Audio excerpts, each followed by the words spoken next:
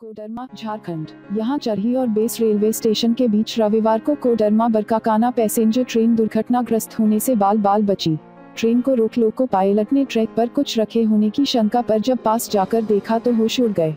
Loco pilot ए के विद्यार्थी के अनुसार सुबह वो कोडरमा बरकाकाना पैसेंजर ट्रेन को लेकर आ रहे थे। ट्रैक पर ट्रॉली रखी हुई थी। अगर ट्रेन ट्रॉली से जा टकराती और एक बड़ा हादसा हो सकता था।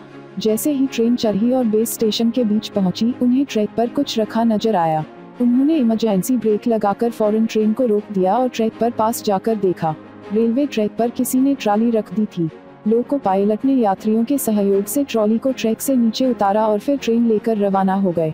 आसार व्यक्त किए जा रहे हैं कि इस रेलखंड पर कंस्ट्रक्शन का कुछ काम चल रहा है। जिस जगह पर ट्रॉली रखी गई थी, वहाँ आसपास कोई आबादी भी नहीं है। हो सकता है मजदूर ट्रॉली से सामान लेकर आए हो और ट्रॉली को वहीं छोड़ दिया हो। फ़िलहाल आज के लिए बस इतना ही। अगर आपको यह वीडियो पसंद आया हो तो इस पर लाइक का बटन ज़रूर दबाएँ और इस वीडियो को ज़्यादा से ज़्यादा शेयर करें और इस चैनल को सब्सक्राइब करना ना भूलें। शुक्रिया।